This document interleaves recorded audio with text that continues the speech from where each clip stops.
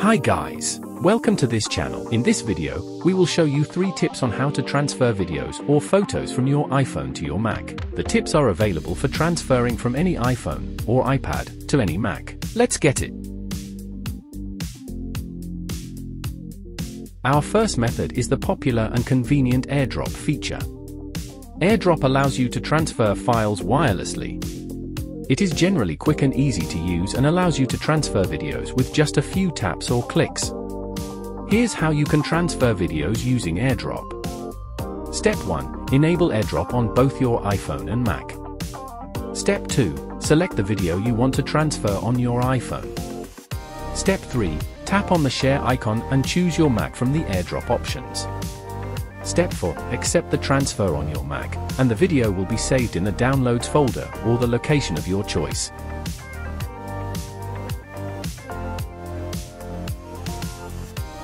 However, AirDrop needs the two devices are on the same Wi-Fi, so the transfer speed highly depends on the Wi-Fi situation. If you want a more stable transfer, or you prefer a more direct approach, you can use the image capture application on your Mac. Step 1. Tap Command and Space on keyboard, your Mac will pop up a search bar. Step 2. Search Capture and open the image capture application on your Mac. Step 3. Connect your iPhone to your Mac with a USB cable.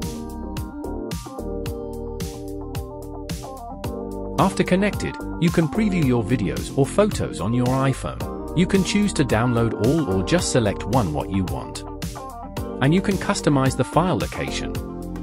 After download, you can go to the folder and check your videos. If you image capture isn't available on your Mac, and you still want a fast and stable transfer, it is recommended to use Anytrans. Anytrans is an all-in-one manager for your iPhone, iPad. Download Anytrans to transfer, backup, and manage your iPhone, iPad data with ease and high efficiency. All your iPhone data is in your control. Link is in the description. After you download Anytrans, please launch it on your Mac. And then please connect your iPhone to your Mac with cable.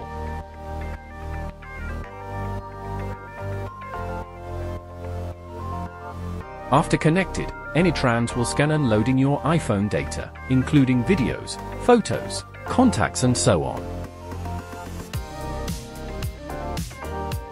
Click the Photos icon. You can view your videos in your iPhone directly on your Mac. Select what you want to transfer, and then click the To Mac button.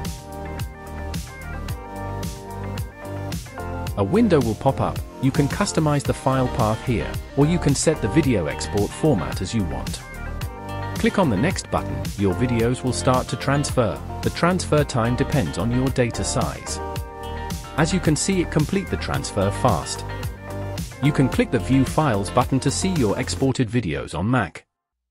That's all for today's video, thanks for watching. Choose the method that suits you best and start transferring those memorable moments. If you found this video helpful, don't forget to give it a thumbs up and subscribe to our channel for more helpful tutorials.